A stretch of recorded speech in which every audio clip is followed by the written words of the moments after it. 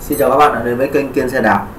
À, Trong thời gian uh, vừa qua thì trên thị trường có cái dòng xe là đạp là xe đạp Marushi Marushi thương hiệu Nhật Bản.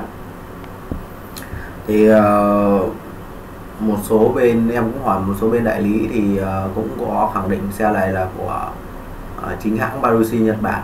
Nhưng mà trong cái video này thì em cũng không khẳng định thì đây là hàng không phải chính hãng hay là hàng uh, chính hãng mà em chỉ đưa ra một cái, cái câu hỏi ngỏ đấy, một cái lời ngỏ để cho các bác tự đánh giá là là những cái nhận định của em nó có đúng hay là sai.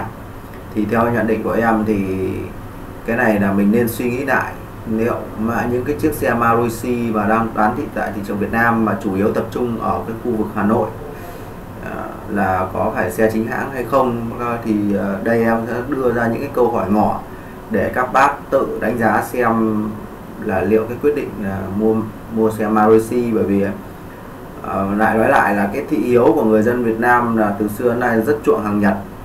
Rất chuộng hàng Nhật thì uh, cái thương hiệu Maruti đúng nó của Nhật rồi nhưng mà liệu những cái chiếc xe đạp carbon hay là đua của uh, các cái shop mà đang bán ở trên mạng uh, mà tập trung rất là nhiều ở Hà Nội thì liệu có phải Maruti không?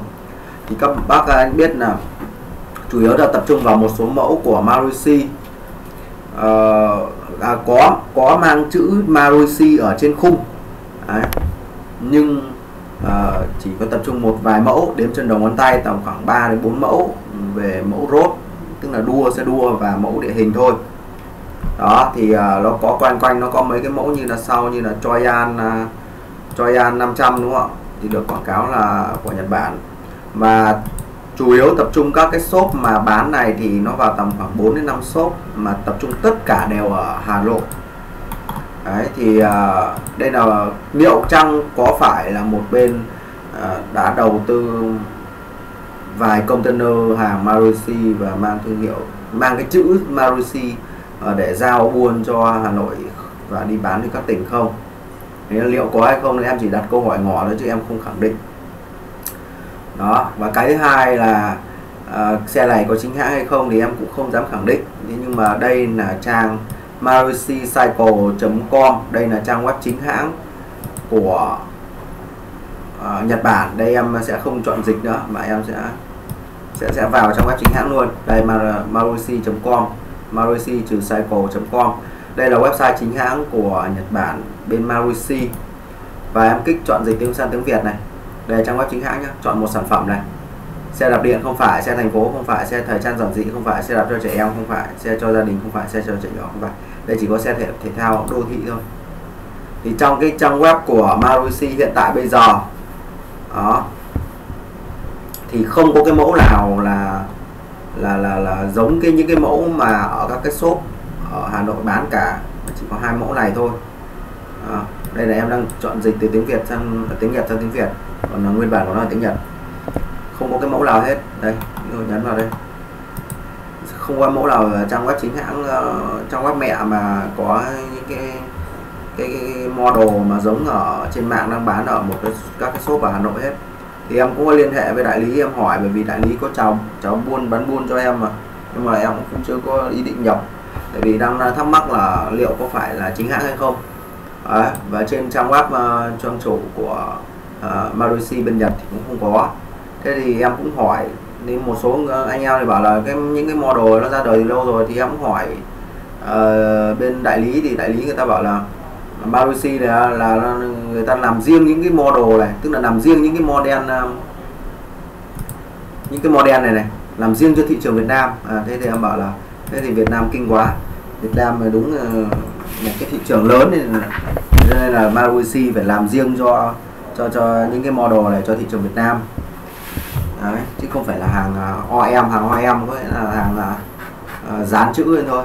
Thì dán theo thương hiệu ý muốn thôi. Đấy.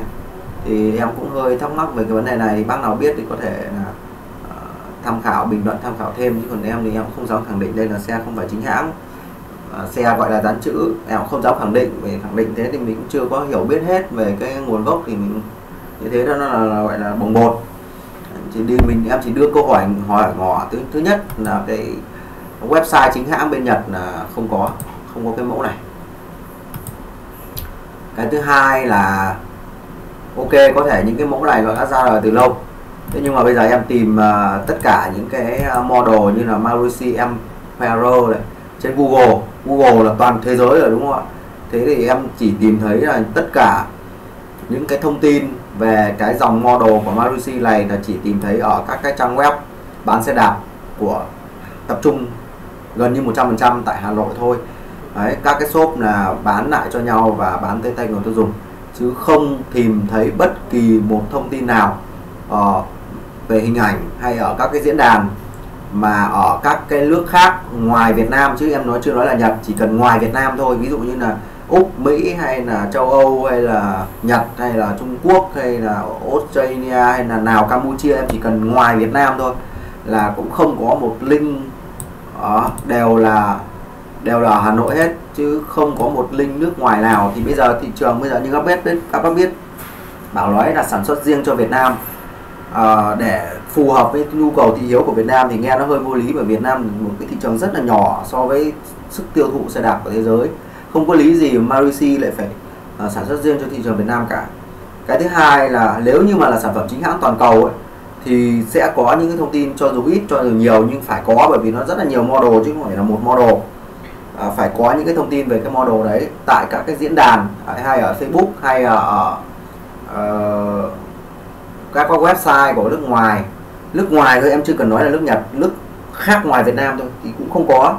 Thậm chí là tập trung chủ yếu là ở Hà Nội thôi. Đấy tất cả các website như là ờ, uh, FX Buy rồi ờ, xe đạp 24 giờ đều toàn ở Hà Nội hết.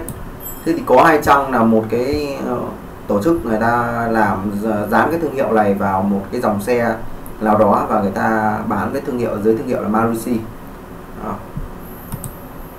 hãy tìm những Shopee uh, Marucci Emperor uh, M2000 này.